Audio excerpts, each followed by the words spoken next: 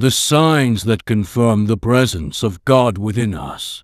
As Catholics, we strive to carry God's presence within us, to be vessels of His love and instruments of His peace. And indeed, there are three powerful signs that assure us of His divine presence dwelling within our hearts. The first sign is a deep and abiding peace that surpasses all understanding.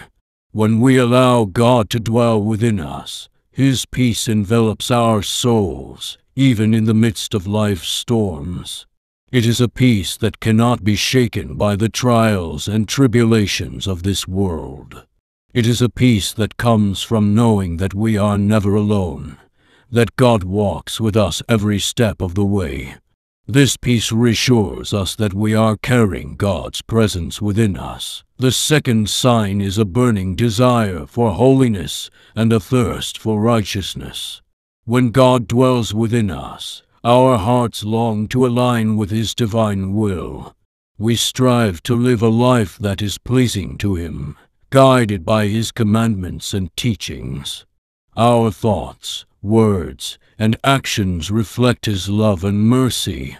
We seek to grow in virtue and to be channels of His grace to those around us. This longing for holiness is a clear indication that we carry God's presence within us. The third sign is the fruits of the Holy Spirit manifested in our lives. When God dwells within us, His Spirit bears fruit in our character. We exhibit love, joy, peace, patience, kindness, goodness, faithfulness, gentleness, and self-control.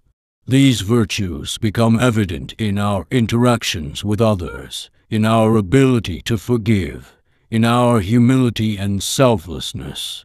The presence of these fruits in our lives is a sure sign that we are carrying God's presence within us. Dear friends, let us strive to cultivate these signs in our lives.